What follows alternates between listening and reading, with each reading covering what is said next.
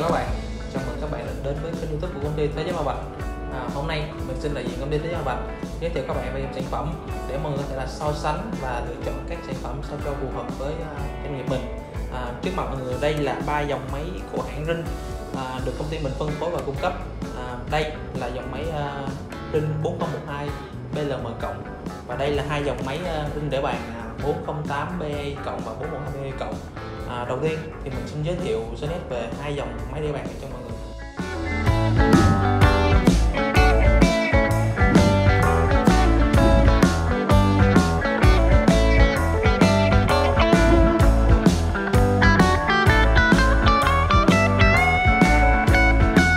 Về cơ bản chúng có hình dạng cũng như tính năng tương tự thiết kế nhỏ gọn bắt mắt lớp vỏ bên ngoài được làm từ chất liệu nhựa cứng và bền Điểm khác biệt giữa hai dòng máy đó chính là độ phân giải. Ở độ phân giải 203 dBA, dòng máy Rin 408 phù hợp in các content có kích thước vừa. Độ phân giải 300 dBA ở dòng máy Rin 412 phù hợp in các content có kích thước nhỏ lên tới vài mm.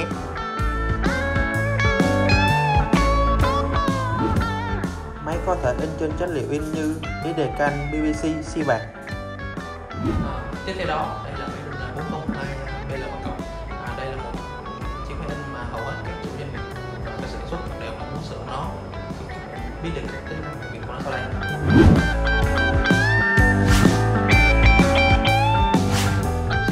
Với thiết kế bên ngoài bằng thép chắc chắn đây là chiếc máy siêu bền.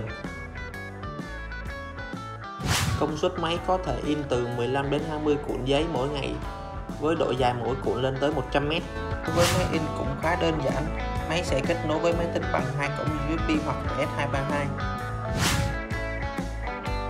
Ngoài tính năng in trên giấy đề can, PVC, xi bạc, máy có thể in trên chất liệu bằng ru băng hoặc satin.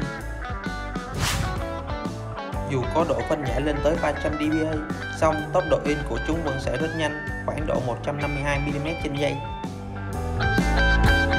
Tôi hy vọng những tin tôi vừa chia sẻ sẽ giúp cho các bạn có nhìn tổng quát hơn về sản phẩm cũng như là lựa chọn các sản phẩm cho phù hợp với doanh nghiệp mình. Mọi chi tiết xin liên hệ với công ty Thế Hoa Bạch hoặc nhấn vào đường link bên dưới để được tư vấn và giải đáp thắc mắc. À, xin chào và hẹn gặp lại ở video sau.